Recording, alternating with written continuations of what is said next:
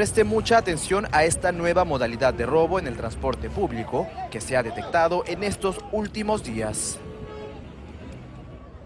El hecho ya ha sido consumado en menos de 10 segundos. ¿No lo vio? Repasemos nuevamente las imágenes.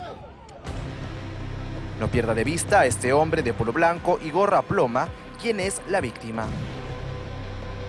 En pocos segundos es acorralado por seis personas, todos ladrones.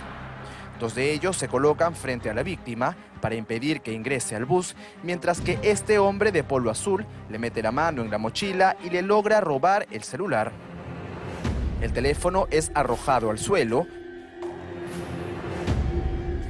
pero es este hombre de negro quien aprovecha la confusión del momento para levantar el botín y salir de la escena. Misteriosamente, ninguna de las personas sube al bus y con señas terminan despistando aún más al confundido agraviado.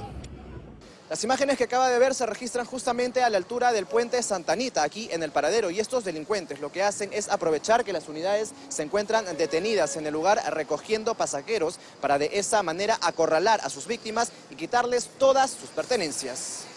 No, cantidad. Y son conocidos, aunque no que son conocidazos, acá o allá en, el, en Javier Prado se hacen pasar hasta por embarazadas, a veces y ahí hay una mujer embarazada se comen juntos. Es clásico. La mujer embarazada se que sube y el otro viene atrás y le te arranca, te, saca, te mete la mano.